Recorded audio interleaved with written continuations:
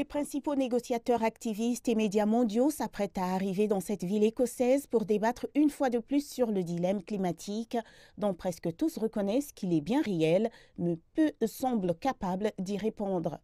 Toutes les données scientifiques pointent dans la même direction, mais ce qui a été célébré six ans plus tôt à Paris comme une intention doit maintenant être transformé en plan d'action convenu. Mais dans un contexte où les économies sont ébranlées par une pandémie persistante et une crise énergétique croissante, il ne reste que peu d'appétit pour des mesures audacieuses.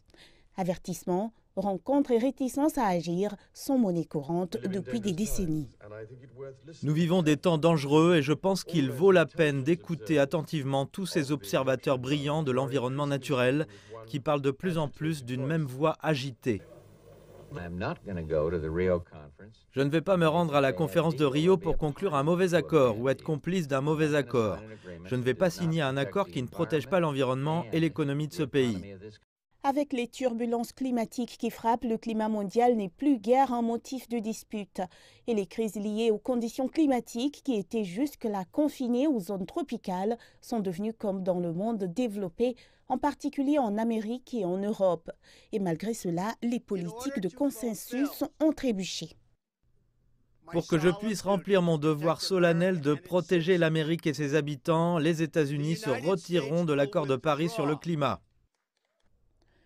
Même avec le retour des États-Unis dans le jeu, les ambitions d'octroyer 100 milliards de dollars pour aider les pays en développement et atteindre les objectifs contraignants de zéro émission s'avèrent particulièrement illusoires.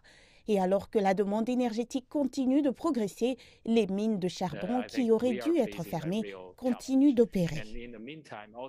Je pense que nous sommes confrontés à un vrai défi, et comme vous le savez, un défi global. Cette tension géopolitique globale qui va en s'amplifiant, et puis toute cette confiance, vous savez, c'est quelque chose de très très important pour parvenir à une solidarité globale.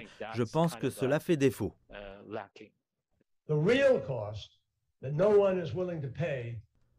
Le coût réel que personne ne veut payer, c'est le coût de l'inaction.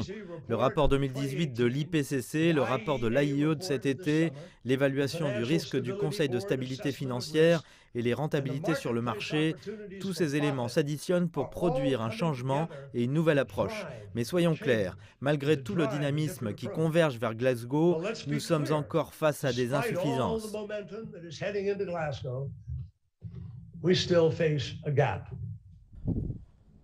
Pour beaucoup de gouvernements, il est trop risqué de redoubler d'efforts. La menace des turbulences économiques, des inégalités dans le système financier global, les priorités de croissance pour les nations développées, tout cela contribue à créer une politique de l'hésitation.